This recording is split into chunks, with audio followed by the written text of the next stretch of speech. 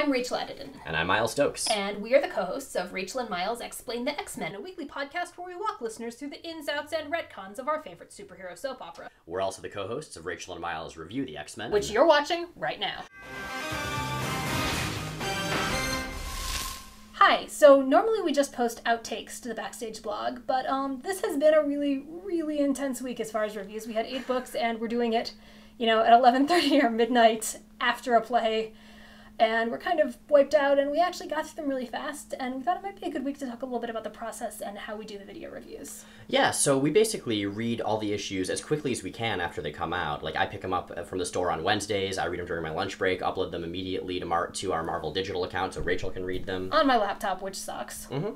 and uh, then on thursday uh, when i get home and we've had a chance to have two days to go through both of them uh, we talk we divide them up you know. Mm-hmm. whoever has stronger opinions about an issue usually gets it or if one of us has done a lot of one title for a while the other one will jump in. Yeah or if there's a title that one of us really likes or if there's a title that one of us just has more to say about mm-hmm. And uh, yeah, so I mean, I'm sure you've noticed we usually have one of us lead pretty strongly on an issue, although the other does jump in.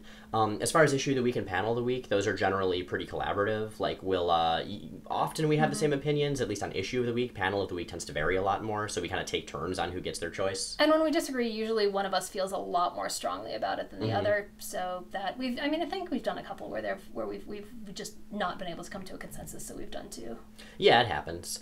Um, but yeah, I mean, it's also been interesting, especially for me, because like Rachel, you're a professional critic, and I'm I, I fix computers for a living, so I'm kind of not.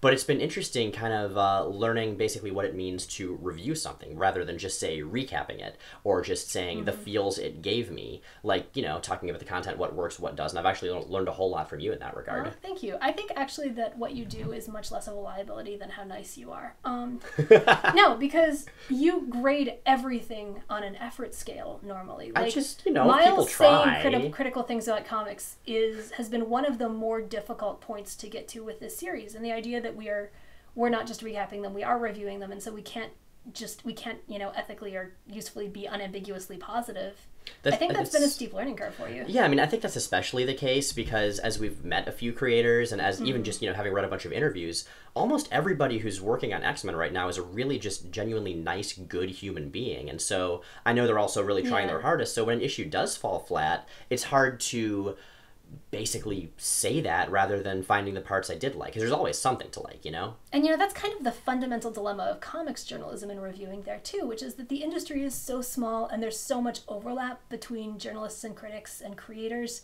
that the people you're reviewing and criticizing are inevitably the people you drink with. Mm-hmm. Totally. But, you know, I mean, I, I like to think we're being relatively fair and, and, and not overly harsh, even when we don't like something. You know, I will say, I am coming at this much, much more in the tone of the podcast and who I am as, as part of the podcast and as, as a fan and commentator than I am as I would if I were reviewing this in text. Um, I would probably be much harsher and I'd definitely be much more craft focused. We pay a lot more attention to story here because that's mm-hmm. what the focus of Rachel and Miles X-Plain the X Men has historically been. Oh, yeah. When I've gone into the craft stuff, it's been in, in separate text articles on the site. Mm-hmm. So, um, yeah, I mean, this started as just a, a, random Patreon goal that initially we kind of really regretted because, to be honest, it's, it's a lot of work. I mean, it's us reading yeah. comics very quickly.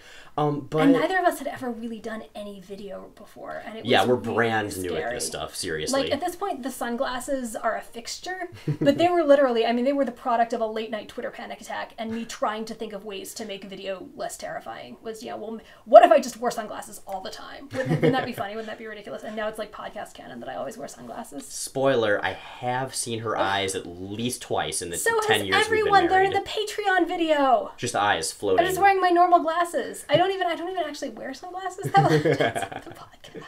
Yeah, but um, anyway, so we're, we're, we're having fun doing these. Um, hopefully you guys are, are having fun watching them. I mean, I, in theory, they have some merit independent from the podcast. So I guess we'll we'll we'll keep doing it, keep watching, and thank you.